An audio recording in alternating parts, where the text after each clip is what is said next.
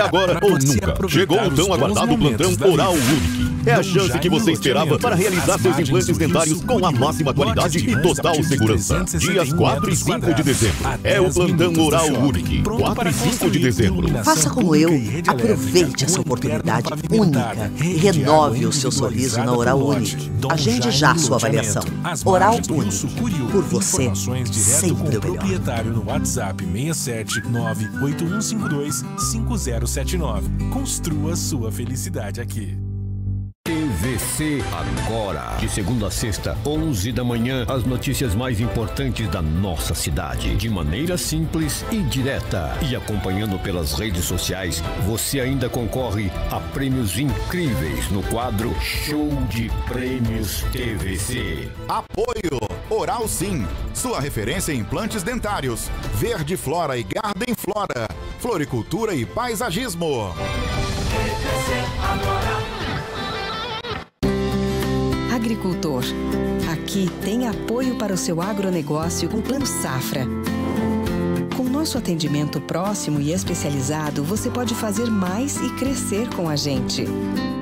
Juntos vamos encontrar as melhores soluções para o custeio do ciclo produtivo das suas atividades agropecuárias, investir e inovar na sua capacidade de produção, ampliar suas atividades e reduzir custos.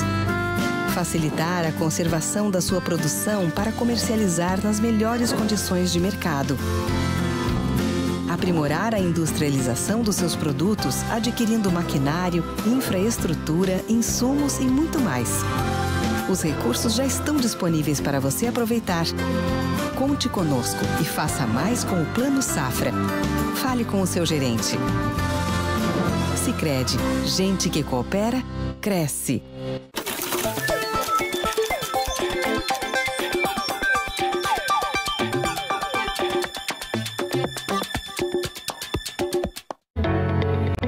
Começa agora pela Cultura FM e TVC HD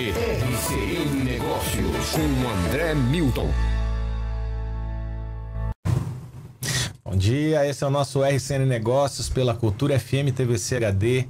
Hoje eu recebo o Carlos Guimarães. Carlos é um dos mantenedores do ângulo Três Lagoas. Carlos, obrigado por estar comigo aqui hoje. Obrigado pelo convite. Um bom dia para o senhor doutor aí. Bom dia para quem nos ouve e nos assiste.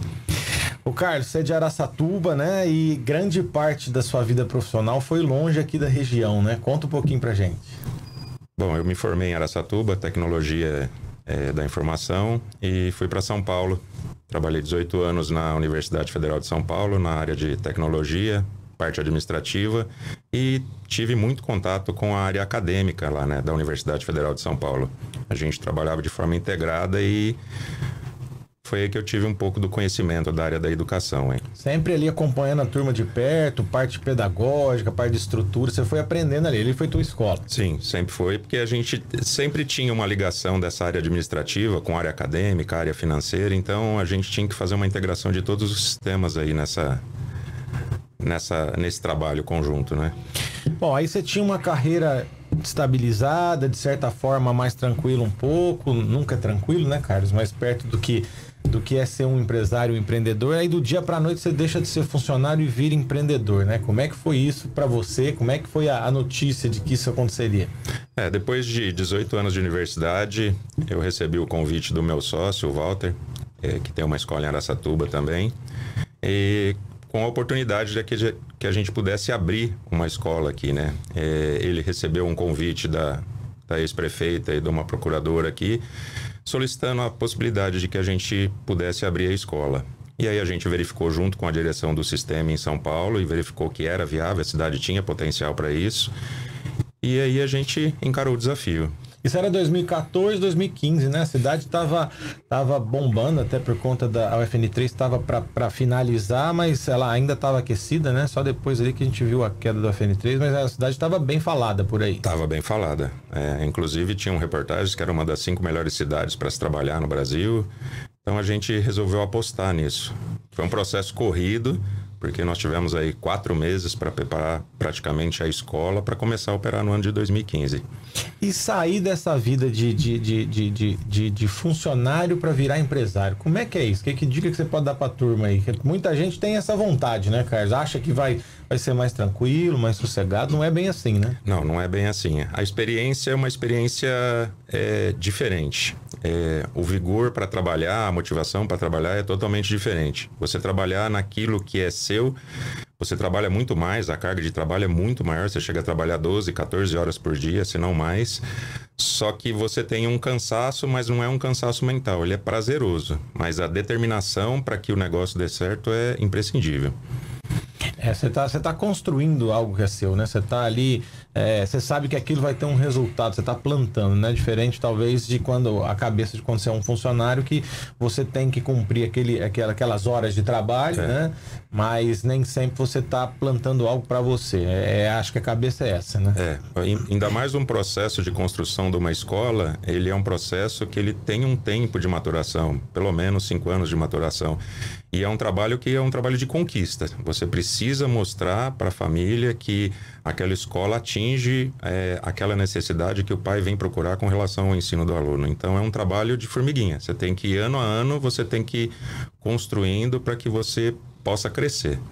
É, e convencer o pessoal a, a tirar de uma escola ou sair, mudar o, o sistema de ensino para uma ideia nova, para uma proposta nova, talvez seja também um grande desafio no começo, né, Carlos? Sim, Cara, vocês chegaram a crescer muito rapidamente, né? Eu costumo falar que Três Lagoas não, não é para amador. Não, não é. Como é que foram e as principais dificuldades que vocês encontraram aqui?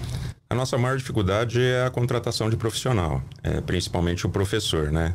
É, a exigência, a qualificação que a gente precisa para que a gente possa trabalhar com o nosso material, ela é, ela é um pouco mais exigida, vamos dizer assim, né? Então, nosso processo seletivo também ele é bem, bem complexo. E a gente percebe que aqui na cidade a gente tem um pouco de dificuldade com relação a isso, né? Tanto é que a maioria dos professores nossos vem de outras cidades. Até porque nós vamos falar um pouco disso mais para frente, mas é um professor que é, tem que falar essa língua do jovem, tem que ser alguém que está ligado a, a, esse grande objetivo hoje, que é saber como fazer para acessar um ensino superior, né? Não vamos falar disso, mas esse talvez seja o grande desafio, né? É, o professor tem que ter brilho no olho, né? E estar tá engajado realmente em passar o conhecimento para o aluno, né? Esse é o diferencial que faz uma escola crescer. E com certeza também implantar uma cultura, é, querendo ou não, é, é, é, é uma competitividade você disputar vestibulares, acessar o ensino superior. E você implantar uma cultura de ter é, isso no aluno daqui, porque sempre o aluno daqui ou ele tinha as escolas daqui, mas muitos também saíam para poder se fortalecer em escolas fora daqui. Então, você também ajudar a implantar essa cultura deve ter sido um desafio também. É, o maior desafio que a gente encontrou é que tradicionalmente as famílias mandavam no ensino médio os alunos para estudar fora. Então, esse foi um desafio grande que a gente teve que é, mostrar para os pais que havia competência da escola aqui para que o pai não precisasse tirar o aluno tão cedo dentro do ambiente familiar. Então, isso é, esse foi o nosso maior desafio. E pouco a pouco a gente está conseguindo mostrar com os resultados que a gente está tendo nos principais vestibulares e no Enem é, que é viável manter o filho dentro de casa, porque ele junto da família, ele não tem outras preocupações a não ser simplesmente fazer o que ele precisa, que é estudar. Bom, 2015 vocês começaram, eu anotei aqui, você me passou alguns dados, vocês começaram com 106 alunos, no ano seguinte vocês foram para 200, depois vocês foram para 274, 299 em 2018, depois para 367 em 2020 vocês tiveram 490 matrículas. Eu imagino que superou as expectativas. Mas onde é que esse negócio vai chegar, Carlos? Bom, a nossa ideia é continuar crescendo, né? É, inclusive com o um prédio novo que foi inaugurado esse ano e infelizmente a gente não conseguiu tirar proveito dele devido ao cenário de pandemia desse ano. Mas a ideia é que a gente continue crescendo e agora com todos os segmentos é, a gente poder, poder oferecer para a população é, um ensino de qualidade desde um aninho até o pré-vestibular. E, e, tem uma meta, queremos dobrar o número de alunos, onde a gente é, chegar? A meta nossa para essa escola nova é que a gente possa pelo menos dobrar o número de alunos, né? A escola, a escola foi construída e preparada para poder dobrar o número de alunos, né? Vocês focaram só ensino médio e pré-vestibular, hoje vocês têm a, a cadeia inteira hoje? É, hoje a gente tem desde ensino infantil até o pré-vestibular. A gente atende desde um aninho até aquele aluno que já saiu do terceiro ano do ensino médio e quer entrar numa boa faculdade. Então diz o pecuarista aqui de mamana caducando. Já. Exatamente, exatamente. e não deu para aproveitar ainda a estrutura dessa escola nova, né? Que nasceu já para ser uma escola mesmo. A construção foi pensada para uma escola, né? É, a construção foi feita com um escritório de arquitetura renomado aqui da cidade, pensando num ambiente de escola mesmo. Tanto é que se você fosse utilizar ela para qualquer outra função, teriam que fazer inúmeras adaptações. É uma, uma estrutura de escola. Legal. Carlos, é o seguinte, eu sou neto, ó, sou filho, sou neto, sobrinho de professor. Eu te contei isso. A principal matéria-prima da educação é o professor. Educação virou uma grande preparação aí para o acesso do ensino superior, né? O professor hoje ele tem que estar tá engajado em nesses objetivos, mas também falar a linguagem do jovem de hoje, né? Essa realmente é uma das chaves do negócio? É, essa é realmente uma chave do negócio. O professor tem que ter aquele aquele feeling de conseguir conquistar o aluno e, e conseguir usar uma linguagem que o aluno entenda aquilo que está sendo transmitido para ele, né?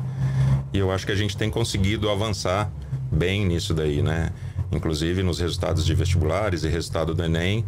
E a escola hoje ela é a oitava escola dentro do estado de São Paulo. Desculpa, estado de São Paulo não, do Mato Grosso do Sul, vocês me perdoem. É, com quatro anos de ensino médio. É, com o terceiro ano do ensino médio. Então é, é uma conquista que deixa a gente muito feliz e motivado ainda para continuar é, é, galgando mais mais posições aí dentro do, do ranking do Enem. Por isso que você me falava que não é um, um, um profissional tão fácil de encontrar, né? Porque é. além de dele estar tá sempre tendo que estar tá adaptado à linguagem desse jovem, ele tem que estar tá focado nesse grande objetivo que é acessar o ensino superior. Por exemplo, nesse caso, mas também, também eu tenho outro perfil que é o ensino infantil, que é outro tipo de professor, não é isso? Exatamente. O ensino infantil ainda tem que ter aquele cuidado com a criança e já começar a passar o conhecimento para ele, seja de forma lúdica ou seja de forma psicomotora, é, a gente já precisa começar a trabalhar isso com a criança desde pequena. E os professores que vocês têm hoje que trazer de fora, eles já têm uma vivência nesse no sistema e na, e na bandeira, é isso? Sim, os professores que é, nos atendem a partir do Fundamental 2, né, porque com Fundamental 2 a gente trouxe professores de fora. Eles já trabalham é, com outras escolas nossas, né? E com o sistema há um bom tempo aí, né? Já são profissionais rodados já. Legal. Carlos, é, nós vamos falar um pouquinho sobre a pandemia, né? Um dos setores mais atingidos aí durante a pandemia foi educação. Atingiu escolas, atingiu professores, atingiu os alunos, atingiu os pais, né? Como é que foi o momento aí para vocês e como é que vocês estão conseguindo passar por tudo isso? Conta com um detalhe aí para nós. É, o, o, início da pandemia é, pegou todo mundo de surpresa. A cidade, pelo que eu me recordo, ainda não tinha casos, mas o governo resolveu fechar as escolas. Então, no, no meio fim de março, a gente parou as atividades e a gente teve praticamente uma semana e meia para preparar uma plataforma que já existia e a gente já utilizava na escola, que é o Plural, né? A maior plataforma do país aí de, de ensino. E, e no começo ele foi muito difícil. A gente passou uma série de dificuldades. O professor é, começar a entender como dar uma aula virtual. Ele estava acostumado dentro de sala de aula e o ambiente virtual é muito diferente. É, os alunos também têm o engajamento das aulas começar a entender que aquilo também é, é benéfico para ele, ele teria que continuar é, daquela forma, sabe-se lá o tempo, ainda a gente não pôde retornar, né? E os pais que tiveram uma nova realidade, né? Que praticamente todos começaram a trabalhar home office e começaram a acompanhar é, o ensino do aluno de casa junto com o aluno. Então, os dois primeiros meses foram meses muito difíceis, né? mas que a gente conseguiu superar e junto com a, junto com a família, junto com o aluno, porque aquilo era a solução que tinha para o momento. Então, é, é, e hoje a gente consegue é, tocar com mais tranquilidade. O, o, pai se acostumou, o aluno se acostumou, o professor já está melhor preparado. A gente teve que fazer um treinamento intensivo com esses professores, teve que investir em infraestrutura. Então, assim, é, não demitimos professores e, estamos tocando. Graças a Deus a gente está tocando. Com certeza vocês tiveram que fazer isso a toque de caixa, né? Como você falou, por exemplo, o sistema que imagino que era um sistema mais voltado para comunicação entre pais e, e escola, ou alunos e escola, né?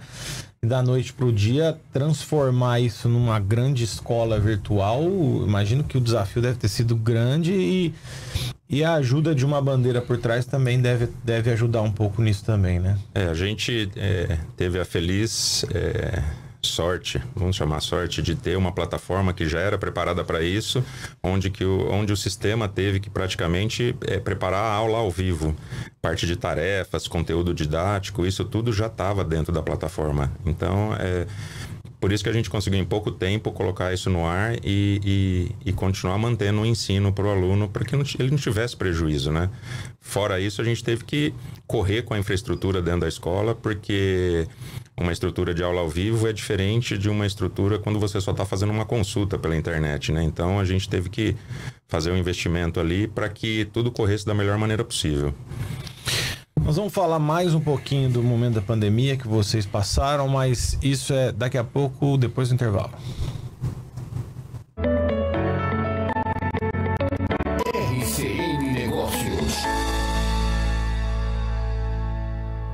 Beleza e bem-estar caminham juntos.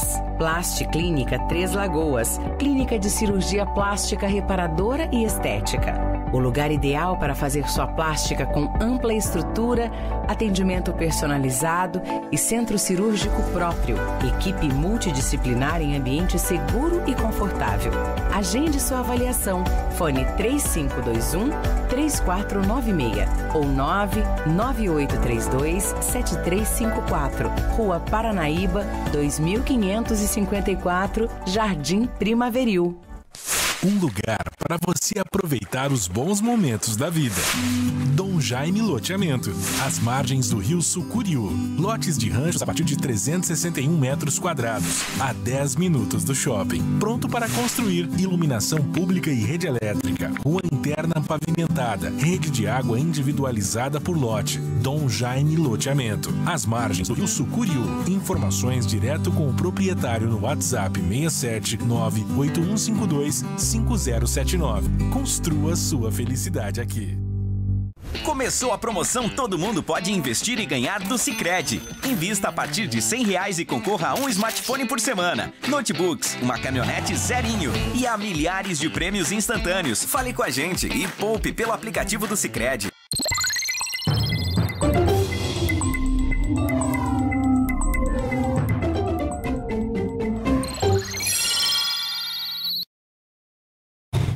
Estamos de volta com o nosso RCN Negócios, recebendo Carlos Guimarães, um dos mantenedores do ângulo de Três Lagoas.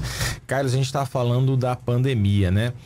Bom, você falou de alguns dos desafios, mas é, nós tivemos outros desafios, por exemplo, pensando no empreendedor ainda. É, eu vi dados nacionais aí que a inadimplência aumentou bastante, se não me engano, é de 20% a 30% no país, né? É, isso também, com certeza, é, foi motivo de alguns, de alguns atritos entre todas as escolas do país e os pais, porque de um lado eu tinha eu tenho custo fixo, eu tenho infraestrutura, eu tenho e de outro lado os pais também passando por momentos complicados. Como é que foi essa esse momento? Bom, é, com relação à inadimplência, a gente está em torno de 25 a 30% mesmo. A gente não foge da estatística nacional. E o, a, a parte de ensino que a gente teve a maior saída de alunos foi o ensino infantil. A gente teve quase 90% de, de retirada de aluno da escola, né? Então isso pesou muito com relação ao fluxo de caixa da escola. E, e os custos não pararam, né? É, nossos custos não pararam. É, a gente teve dissídio no meio da pandemia, investimento em infraestrutura, é, não fez demissão de profissional e continuou mantendo toda a estrutura para que o aluno, mesmo de casa, continuasse recebendo o, o ensinamento, aquilo que ele tinha que aprender durante o ano letivo. Você comentou também que vocês conseguiram manter os empregos, né? os professores e os funcionários, vocês conseguiram, de certa forma, também não demitir nesse não, momento, não, né? Não houve demissões nesse período. E infraestrutura para a questão é, desse novo mundo virtual também foi necessário? É, a gente teve que melhorar é, cabeamento de rede, teve que aumentar a banda larga, teve que fazer aquisição de equipamentos, e câmeras e uma série de outros é, itens que são necessários para que o professor pudesse dar uma aula com qualidade. Carlos, falando ainda sobre a questão da infraestrutura nesse novo mundo virtual aí. Segundo uma pesquisa do TIC Educação 2019, 14% das escolas públicas e 64% das escolas particulares estavam preparadas para as aulas virtuais. São quase 30% contando no geral aí das escolas, né? Você falou um pouco como é que estava o ângulo de Três Lagoas para esse novo mundo virtual. Mas vamos falar um pouquinho mais também dos professores, dos alunos, como é que estava o ambiente para receber a aula, para dar a aula. É, eu tenho curiosidade de saber é, é, essa questão. Para receber e dar aula virtual, é, praticamente a gente estava no zero. É, é, era impensável naquele momento o professor ter que sentar e, e dar uma aula olhando para uma câmera. Então, é, esse momento de adaptação, eles tiveram treinamento, mas foi um momento assim é, bem estressante para o professor, porque ele teve que enxergar uma realidade diferente, né? Conhecer ele... novas tecnologias. Exatamente. professor que estava acostumado à sala de aula, saber a reação do aluno ou saber se o aluno estava assistindo ou não, hoje ele tinha na frente um computador uma câmera e ele tinha que dar aula para esse computador e câmera. É, sabendo que tinha um aluno do outro lado, mas a gente não sabia se o aluno estava realmente assistindo, realmente entendendo o conteúdo. Então esse acho que foi o maior desafio no começo. E eu tenho notado que essa interação ela, ela, ela, ela, ela, ela é bem mínima. Me, me dá a impressão de que ela não é Obviamente a interação na, na, na, sala de aula é diferente. Agora, não existe uma interação tão grande ainda nesse mundo virtual, professor-aluno, né? É, é difícil e é difícil fazer com que o aluno abra a câmera, né? Essa, essa é a maior dificuldade que o professor tem dentro de uma sala de aula virtual. Alguns abrem, alguns, a maioria não abre.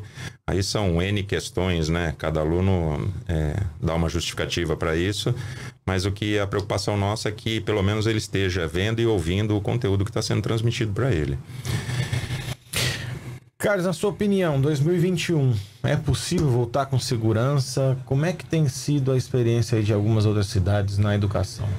Bom, voltar com segurança a gente acredita que sim, né? A prefeitura soltou um decreto aí que a gente já está trabalhando é, com todas as exigências que estão sendo solicitadas aí, treinamento, preparação de salas, aquisições de, de materiais, EPIs, para a gente poder retornar no início do ano letivo de 21. É, a gente tem conhecimento de outras cidades, inclusive, vou dar exemplo de uma cidade do estado de São Paulo, relatada pelo meu sócio, na Sorocaba, onde é, um sobrinho dele estuda e tem uma escola lá que de 24 alunos, 22 estão tendo aula desde 8 de setembro e não houve nenhuma ocorrência. E a gente também tem que olhar para o cenário da cidade aqui, né? Hoje só a escola que não está aberta. Hoje você tem cinema aberto, salão de festa você pode fazer a utilização, shopping, farmácia, supermercado, banco, tudo está funcionando. Então não teria o porquê da escola também não estar funcionando, né?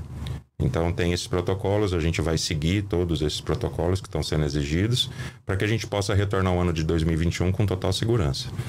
Aí, Beto, vai poder respirar um pouco, os filhos já podendo estudar e você parar de ser professor esse ano. Você foi professor o ano inteiro, né, Beto? Até falar um pouco disso. Do dia para noite começamos a ver nossos filhos em casa, no horário de aula.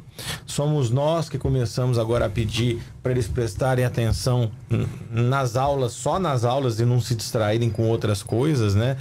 É, criarem rotina, que é uma grande dificuldade hoje dentro de casa, né? Alguns viraram professores, começa, começamos a nos relacionar um pouco mais com a escola, com a rotina deles e com a vida escolar dos nossos filhos, né? Lógico que tem pais que conseguem fazer isso já há bastante tempo, né? Mas como é que foi tudo isso? Como é que você enxergou isso? E, e essa, essa primeira, esse aumento desse relacionamento de pais e escola durante esse período? Olha, eu acho que foi, é, vou usar um termo aqui bacana, é, esse processo do pai poder enxergar é, como é um processo de ensino para o aluno dentro de casa, os desafios que ele tem, é, quais as necessidades que ele tem, é, qual a dificuldade do professor. Você tem que, dentro de casa, você tem que fazer que um, com que o aluno preste atenção no computador, aí você tem uma TV ligada, a mãe está fazendo um almoço, ou o pai chega e tira atenção. Então eu achei que foi bem positivo para a família poder entender um pouco o papel do educador é, na vida deles, né? e que esse trabalho é um trabalho árduo e que ele é necessário até para que você é, faça uma formação do seu filho e, e você dê é, uma oportunidade no mercado de trabalho para ele. Então eu acho que essa relação família-escola para o ano de 21 ela vai ser um pouco melhor e diferente com relação à família e à escola. Joia. É, bom, outra pergunta que eu quero fazer para você é o seguinte: antigamente nós tínhamos uma realidade onde as pessoas tinham um pouco mais de contato com a vida profissional, desde muito novos, né? As gerações seguintes, elas foram mais direcionadas para os estudos e a impressão que eu tenho é que essa turma tem chegado na hora de escolher a profissão com muito mais dúvida, muito mais insegurança, né? Além disso, segundo a OMS, um percentual muito grande dos adolescentes atualmente estão com problemas psicológicos. Como é que vocês veem todo esse quadro e o que, que a escola pode fazer por eles hoje, Carlos? É, hoje a gente enxerga que essa geração atual ela é mais fraca emocionalmente. Então a escola faz um trabalho de é, socioemocional, né? A gente tem um programa socioemocional na escola e no ensino médio a gente tem uma psicóloga dentro de sala de aula é, para tentar é, mostrar um caminho para esse aluno, qual a carreira que ele tem que seguir, ou como ele pode se portar dentro de um, de um exame nacional do ensino médio, não ficar nervoso na hora que está fazendo a prova. É, algumas, algumas situações para que a gente possa ter o melhor desempenho desse aluno e depois, na hora que ele entrar no mercado de trabalho, ele saber lidar com as, com as, as, as, adversidades né, de um mercado de trabalho, você ter um chefe, ou você aceitar uma crítica, ou alguma coisa nesse sentido, né? Porque é difícil, né? Você, você chegar nesse momento para eles, ainda mais que é, antigamente a gente era, era um pouco mais levado a ter uma vida de trabalho, trabalhava mais cedo, pensava em empreender mais cedo, sempre ajudando nos negócios dos pais, tal. Hoje eles estão muito focados ao estudo e acabam chegando com muita dúvida e esse tino empreendedor também eles vão acabar desenvolvendo um pouco mais para frente, né, cara? É, mas aí a gente já faz um trabalho desde os pequenos, né, desde a base, essa parte socioemocional, para que ele chegue, pelo menos no momento dele de escolher a carreira dele, ele tá um pouco mais. É, ter a certeza daquilo que realmente ele quer fazer, tá convicto daquilo e, e poder é, prosseguir nessa carreira. Por outro lado, apesar de faltar essa maturidade profissional, né, nós estamos na era da informação e faz com que os jovens e os adolescentes hoje desenvolvam um certo senso crítico, né? Eles acabam tendo já, desde jovens, posicionamentos sobre vários assuntos. É, dos temas cotidianos, né? Eu tenho lido e tenho, eu tenho adolescente jovem em casa que é exatamente isso que o aluno é, que o Enem procura desse aluno, esse senso crítico, essa capacidade de se posicionar sobre as coisas, né? Como é que tem saído o ângulo na preparação para esse aluno no Enem?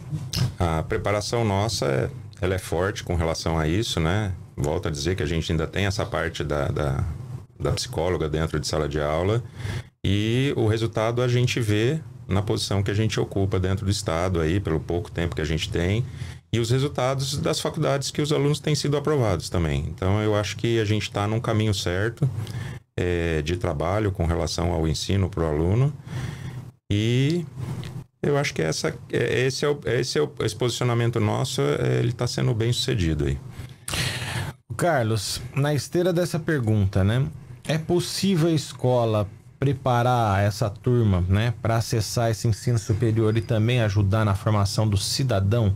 Ou essa é uma tarefa mais para a família? Assim, a escola consegue hoje, é, mesmo no meio desse grande preparo para o ensino superior, dar ali pitadas de, de, de, de ensinamento para ele formar esse, esse cidadão, não só esse, esse aluno que vai acessar o ensino superior. Os professores conseguem no dia a dia fazer isso nas aulas Sim, também? Sim, eu acho que, que eu acho que eles conseguem, mas a parte da família também é imprescindível com relação a isso, né? Você tem que fazer um trabalho a quatro mãos aí para conseguir ter um cidadão bem formado, né? Não é só a escola que vai formar o cidadão. Isso também vem de casa, né? Mas a escola, é, com os métodos que ela tem, ela auxilia bastante isso. Você acha que é o grande, a grande lição e, e, a grande tarefa que a pandemia talvez nos trouxe é saber a nossa responsabilidade também na formação e na educação dos nossos filhos. É uma tarefa que é conjunta, né, cara? É, a tarefa é conjunta. A gente precisa trabalhar, a escola, a família tem que ter uma ligação muito forte. É, a escola com o ensinamento e a família com o papel dela de educadora, né? Carlos, eu agradeço demais sua presença. Obrigado aí por estar tá, é, trocando algumas ideias para a gente. Muito boa sorte. Um ano tão complicado, tão desafiador, né? Para o empresário Carlos, que achou, não imaginava nos, nos 18 anos que você passou, que você passaria por algo que em 2020 você passou. E que isso fortaleça o grupo aí, para que vocês possam atingir os objetivos de vocês pós-pandemia. Obrigado, agradeço pelo convite, agradeço pela oportunidade e a gente vai estar tá aqui sempre preparando os alunos aí para o futuro. Pode contar conosco. Obrigado, Carlos. Então, então, encerramos hoje o nosso RCN Negócios. Sábado que vem espero vocês para mais um encontro, 11 horas ao vivo. Espero você. Um abraço.